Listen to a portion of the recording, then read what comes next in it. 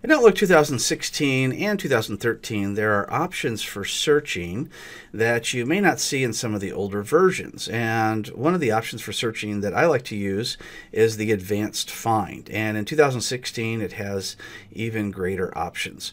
So what you want to do is go into the folder where you want to find something. Now, I'm going to be in our junk email folder because I don't care if anybody sees anybody in there.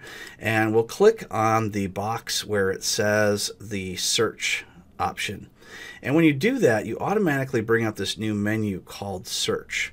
And there's a lot of options here, such as if an email has attachments, uh, is it categorized a certain way, uh, where the email was sent to, was it this week, was it unread, and another option here under Search Tools is Advanced Find. So go ahead and click Advanced Find. And I know there's a bunch of people that sent me uh, spam by under the name of Mike. So we'll just go ahead and put in the name Mike. And we're going to say in the subject field only. And we can choose a from option if we want, or we can choose a sent to option as well. But I'm just going to go ahead and put in the subject field the name Mike. Now, it's not necessarily sent from Mike, but it has Mike's name in it. So go ahead and click Find. And there we go. We see that in the subject we have some Mikes.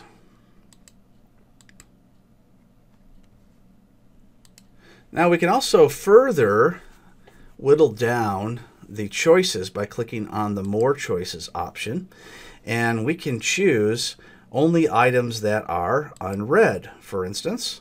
We can choose only items with one or more attachments. So if they sent an attachment, we will find those. Now we're not going to find any here, so we'll just uncheck that one. We'll also check the importance, and you can choose the normal, high, or low. So if they specified an importance, then we'll see that option. We can also check the box that says has a colored flag. So if the email was sent with a flag or you marked it with a flag, then you'll be able to see that. Uh, you can also choose the match case. So if there's upper or lower letters, you can match that in your search. You can choose a size. So if you're looking for an email with a specific size, such as someone sent you maybe an attachment with a one megabyte file, that will really keep the uh, emails that don't include what you want out of your search. You can choose equals approximately the one megabyte uh, between 1 and 2 megabytes or whatever it is you want, less than or greater than 1 megabyte. So we'll just go ahead and choose greater than, and we'll choose 1 in this particular case. Or we can choose between, and you see both these options come up.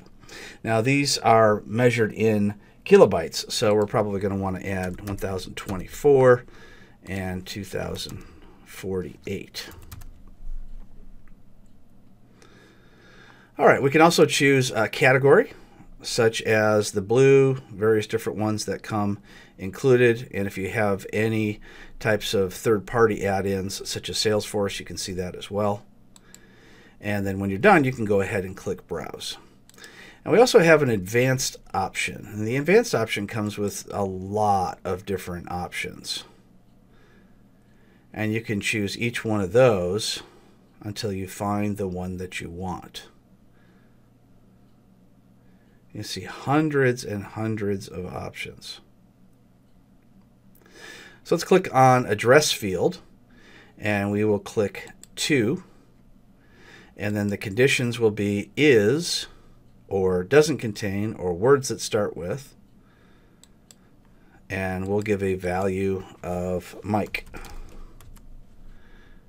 And we'll click add to the list. So you can have a lot of different items here. It doesn't have to be just one. So we, we had the, the word Mike, but we can go back in and add other fields such as from. Contains is exactly, and we can just put in Tom. Add to the list.